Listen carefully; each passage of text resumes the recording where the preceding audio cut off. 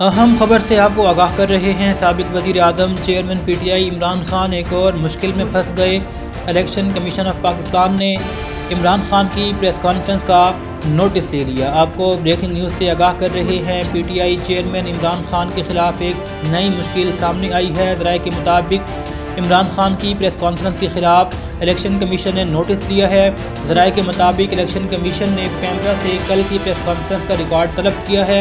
जराए का कहना है कि मुमकिन तौर पर आर्टिकल 204 के तहत इमरान खान के खिलाफ कार्रवाई का आगाज़ हो सकता है। वाजे रहे कि इमरान खान के खिलाफ चीफ इलेक्शन कमिश्नर के खिलाफ तोहन का केस पहले भी देर समात है, जबकि इमरान खान ये दावा कर चुके हैं कि उनको टेक्निकल बुनियादों पर नॉकआउट करने की कोशिशें भी जारी हैं। अहम खबर से आपको आगाह कर रहे हैं सबक वज़ीर अजम chairman P T I Imran Khan एक और मुश्किल में फंस गए।